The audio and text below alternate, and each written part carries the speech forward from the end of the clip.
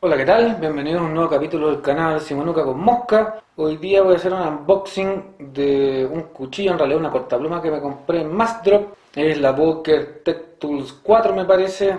Esta la estoy comprando para reemplazar una que me robaron hace casi un año cuando me robaron las cosas de pesca. Tenía una Leatherman, pero vi esta oferta en Massdrop y me pareció interesante hacer el cambio. El alicate que ando trayendo en mi equipo de pesca es más bien para los carretes y no tiene que ser tan potente, por lo tanto quise probarlo. Como ya tengo una Poker Tech Tools 6, es una buena herramienta y obviamente voy a dar una oportunidad de hacer un cambio ya que estoy reponiéndome del robo. El unboxing lo voy a hacer con el Spider Native 5 en acero de 75BN. Como pueden ver, más drop. Miren la clásica caja Boker. Boker Plus son todos hechos en China. En China el modelo es el 01 B0826. No aparece nada más por acá. Sello de seguridad. A pesar de que no sale explícito ahí, me parece que es la Boker Tech Tools 4. Vamos a hacer un zoom con un magneto, como pueden ver. La garantía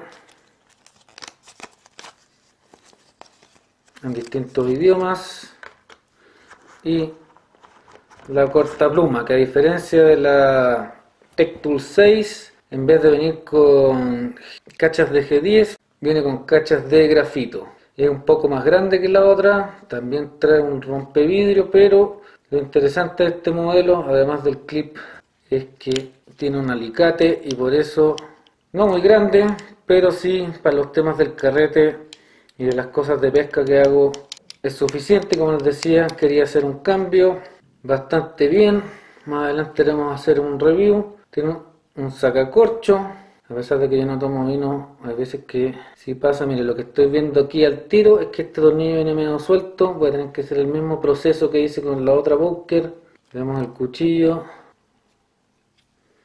bien, serrucho, voy a hacer un zoom atrás porque estoy saliendo de foco, serrucho, tijera, o sea para cortar hilo, línea, los típicos atornilladores, abre cajas, una figura para instalar el langer, pero vuelvo a repetir que es el mismo error porque si utilizo un langer no puedo utilizar el rompevidrio, se ve interesante, vamos a hacer una limpieza, un aceitadito, aunque ahí se nota que viene bien aceitada, lo vamos a poner en la caja de pesca y lo vamos a empezar a probar. Review de esto seguramente voy a hacer a finales de la temporada de pesca el otro año. Si están interesados que haga unas comparaciones con otras cortaplumas, háganmelo saber aquí en la descripción del video. A lo mejor adelanto algunas cosas, pero como he dicho en otros videos, los reviews me gustan hacerlo después de usar el producto algún tiempo.